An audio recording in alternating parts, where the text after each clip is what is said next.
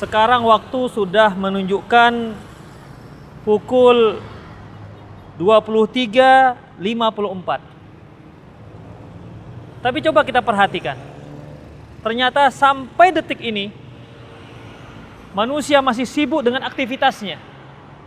Kita tidak tahu ke mana mereka pergi, apa yang akan mereka lakukan, dan juga kita tidak tahu apa yang mereka kejar.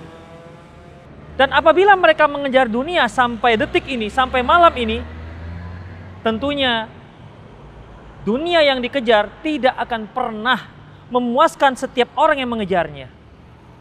Benar kata Rasulullah Sallallahu Alaihi Wasallam bahwasanya laukana libni Adam wadiyani minad dhahab la ahabba ayyakuna wadiyan thalithan seandainya seorang anak Adam memiliki dua lembah yang dipenuhi dengan emas, tentu dia masih menginginkan lembah yang ketiga yang dipenuhi juga dengan emas.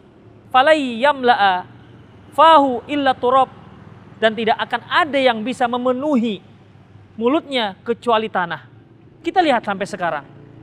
Masih saja manusia-manusia beraktivitas. Memang dunia itu benar-benar satu hal yang sangat manis dan sangat menarik perhatian kita.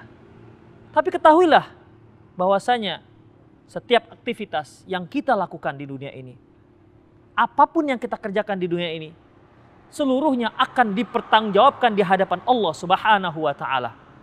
Waktu yang telah kita habiskan, masa muda yang telah kita habiskan, semoga Allah Subhanahu wa taala menjadikan kita seorang yang benar perhatian terhadap akhiratnya dan bukanlah menjadi orang-orang yang diperbudak oleh dunia.